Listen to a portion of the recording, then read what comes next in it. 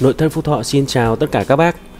Hôm nay là ngày 20 tháng 11 Bên em đang có mặt tại khu thị Hoàng Huy Riverside Thượng Lý, Hồng Bàng, thành phố Hải Phòng Để có thể tiếp tục đo đạc khảo sát cũng như là kiểm tra hiện trạng mặt bằng thực tế Chuẩn bị thi công nội thất cho ngôi nhà mới của khách hàng anh Toàn.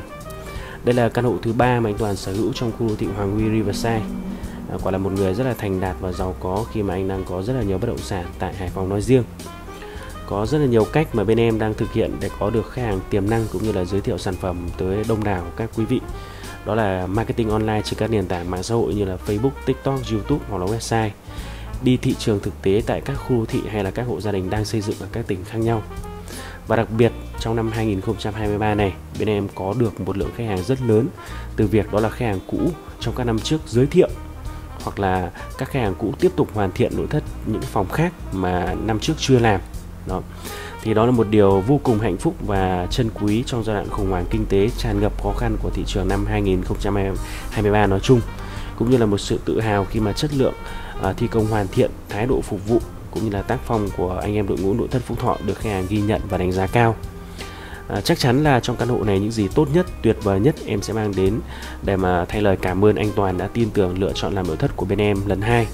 Chúc anh thật nhiều sức khỏe, tài lộc, hạnh phúc và thịnh vượng để có thể tạo điều kiện cho bên em đồng hành và tiến bộ hơn nữa trong các thời gian sắp tới. Mời quý vị cùng ngắm nhìn hình ảnh thiết kế mà bên em đã thực hiện cho à, công trình của anh Toàn. Chúc quý vị một ngày mới thật là vui vẻ và hạnh phúc. Xin chào.